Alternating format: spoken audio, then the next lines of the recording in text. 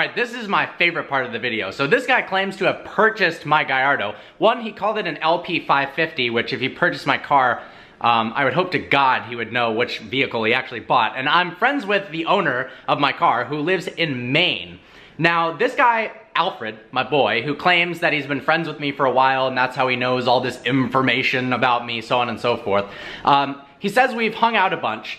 Well, if he's the guy who bought my car, who lives in Maine, we've only met once, and he also says in another video that he's good friends with Tanner Fox, who lives in San Diego. So somehow he's hanging out with Tanner Fox in San Diego, me in Michigan at the time, and the guy who owns my car in Maine all at the same time. So I think the takeaway from this is...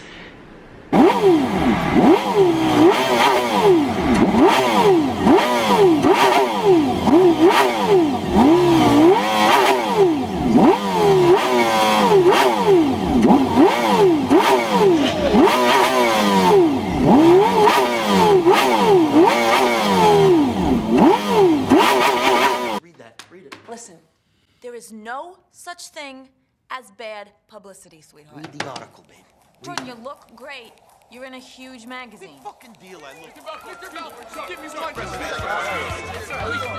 How's all this? It's the Forbes article. They all want to work for you now. Hey, what did I say? Just gotta be nice. Hey, you want a job? Give me a minute, Tell me buddy. in, so, sorry, Mr. Belfort. Forbes made me a superstar.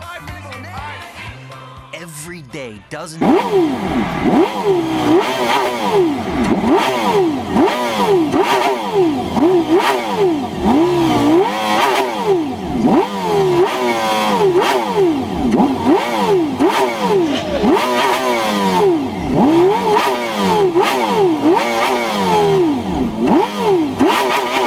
Alfred's a fucking time-traveling I just wanna get that money.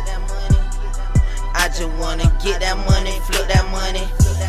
I just wanna stack them hundreds. I just wanna spaz out, cash out. I just wanna get that money. I just wanna get that money, flip that money. I just wanna stack them hundreds. I just wanna spaz out, cash out.